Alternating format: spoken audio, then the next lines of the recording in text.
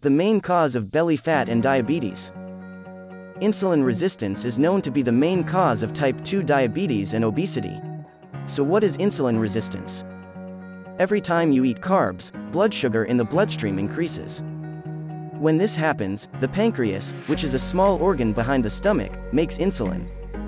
Insulin is a storage hormone that allows blood sugar to enter from the bloodstream into cells to be stored and used as energy. Insulin is like the key that opens a cell's door for blood sugar to enter. Insulin resistance is when cells stop responding to insulin, and the key stops working. Then blood sugar can't enter into cells anymore. Consequently, blood sugar levels in the bloodstream stay high, because the blood sugar has nowhere else to go.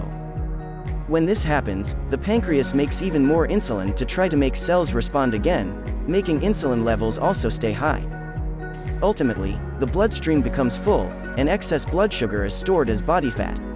This increases the risk of type 2 diabetes. Insulin also blocks lipolysis, which is when body fat is broken down and released into the bloodstream to be used as energy. I explain in detail exactly how lipolysis works in another video. So insulin puts your body in storage mode and blocks your body from burning body fat, even if you are in a caloric deficit. If you have insulin resistance, your blood sugar and insulin levels are always high, and basically your body is always in storage mode. Then it is almost impossible to lose body fat.